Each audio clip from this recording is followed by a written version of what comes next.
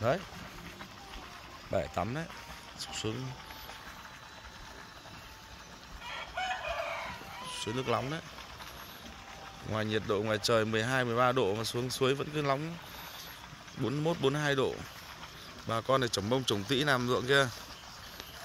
Đấy, nhìn thấy chưa? Đấy, bà con vẫn đang căng lý nông ra. Ruộng bậc thang ấy. Đấy. Đấy.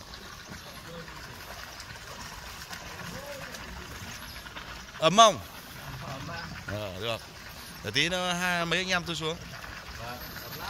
Tí tí nữa ba bốn anh em tôi xuống tắm. Mấy anh em đi từ hôm qua nhậu nhiều quá. Tối hôm qua không không không thấy nhậu. Cả khu đấy mỗi mình bọn tôi ngồi. Nhậu mà không có đồng đội nó cũng buồn bốn năm anh em không nó buồn.